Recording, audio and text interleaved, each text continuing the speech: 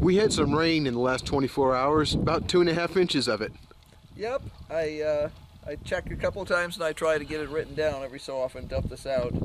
This this particular rain gauge only holds two inches, so I have to keep track of it. We have a weather system, but uh, we figured out that our weather station is not as accurate as we would like it to be, and one of the things that's funny about it is that sometimes frost and stuff like that will make it not work quite as well. But this right now is uh, eight tenths of an inch. Yeah.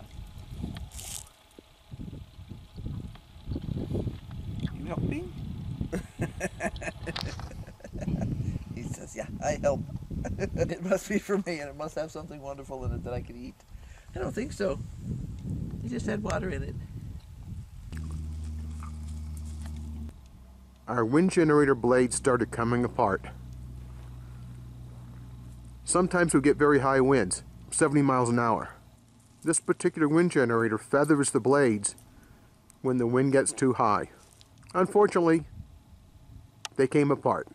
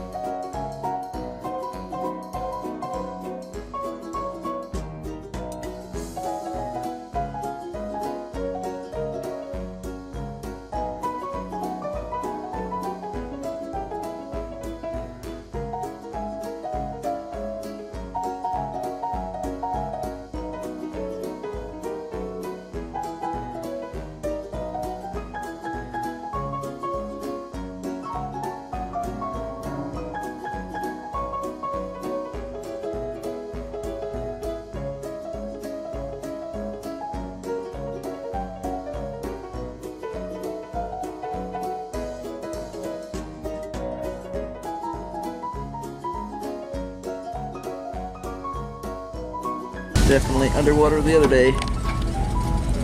Yesterday. Yes, that's true, yesterday.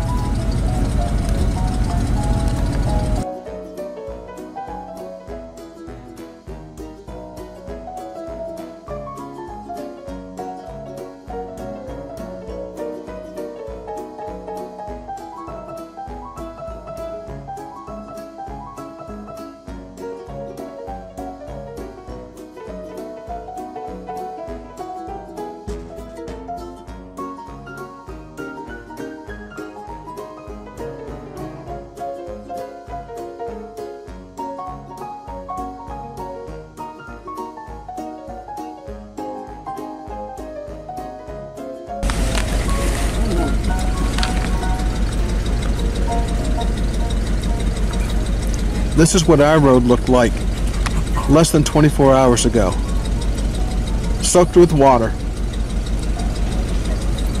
And we delayed coming out today until the sun had shined and the wind had blown.